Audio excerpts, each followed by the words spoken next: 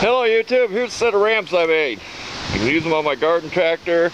Uh, I need to inspect the front CV shaft on our Cavalier, so this will get me up in the air where I can either put a jack or then do whatever. And there's what the bottom looks like. Piece of 1x4. And put it up far enough so this will touch the ground. Get that out of the way.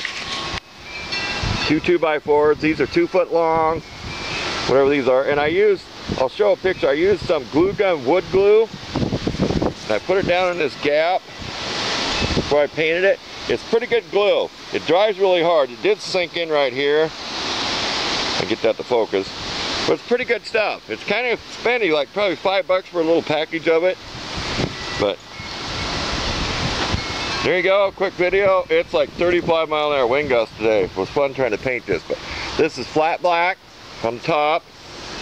And then on the bottom, then I coated the bottom with some more gloss black, just cheap dollar store paint. Just to try to protect them when they get wet. Said I fill all the holes in with glue. It did sink in, but there is glue in there. Keep the water out. So. There you go. Give you a couple photos, and thanks for watching.